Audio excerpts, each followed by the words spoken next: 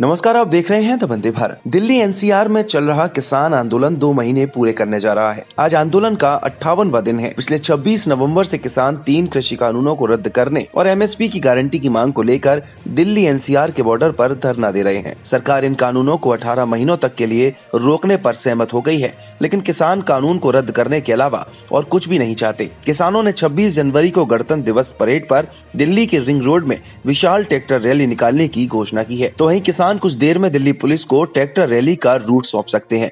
किसानों ने दिल्ली पुलिस को जो एक रूट का सुझाव दिया है, वो रूट सिंगू संजय गांधी अस्पताल और बवाना है। वहीं अगर दिल्ली पुलिस की बात करें तो किसानों को परेड की इजाज़त देने पर दिल्ली पुलिस ने कहा है कि किसानों को सेंट्रल दिल्ली में ट्रैक्टर परेड की इजाज़त नहीं है। सूत्रों के अनुसार, दिल्ली पुलिस किसानों के द्वारा दिए जाने वाले रूट मैप का इंतज़ार कर रही है। इसके बाद किसानों और पुलिस की फाइनल मीटिंग होगी। किसानों को ट्रैक्टर परेड के लिए लिखित में रूट देना होगा। किसान सेंट्रल दिल्ली में ट्रैक्टर परेड नहीं कर सकते। गणतंत्र दिवस परेड के बाद ही वो अपनी ट्रैक्टर परेड निकाल सकेंगे। वहीं अगर किसानों की बात करें तो पंजाब किसान संघर्ष कमेटी के नेता सतनाम सिंह पन्नू ने कहा है कि कई किसान गणतंत्र दिवस के मौके पर होने वाले ट्रैक्टर रैली में शामिल होने के लिए दिल्ली आ रहे हैं। उन्होंने कहा कि किसान दिल्ली के आउटर रिंग रोड पर ट्रैक्टर रैली निकालेंगे। दिल्ली पुलिस इसके लिए अनुमति दे अथवा नहीं। वही मीडिया ऐसी बात करते हुए किसानों के साथ आंदोलन में शामिल योगेंद्र यादव ने दावा किया है की छब्बीस जनवरी को किसान परेड होगी और इसके लिए फाइनल रूट जल्द ही मीडिया को बता दिया जाएगा। योगेंद्र यादव ने कहा कि गणतंत्र दिवस को हम दिल्ली के अंदर जाएँगे। उन्होंने कहा कि हमारी दिल्ली पुलिस से रैली के रूट को लेकर बात हुई है। योगेंद्र यादव ने कहा कि रैली के दौरान किसान दिल्ली में नहीं रुकेगा, बल्कि जहाँ से रैली शुरू हुई है,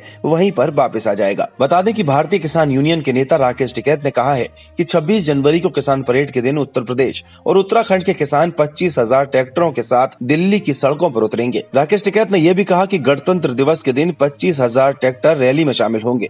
इस रैली में पश्चिमी उत्तर प्रदेश के अलावा यूपी के दूसरे जिलों के किसान भी शामिल होंगे। राकेश टिकैत ने साथ ही कहा कि रैली में राजनीतिक दलों को आने की इजाज़त नहीं होगी। उन्होंने कहा कि यूपी और उत्तराखंड से किसान अपने ट्रैक्टर ट्रॉली के साथ यूपी गेट की ओर आ रहा है, लेकिन पुलिस उन्हें रोक रही है। फिर भी वो दिल्ली ज़रूर आएँगे। देश दुनिया की और भी खबरों के लिए देखते रहिए। दबंदे भारत।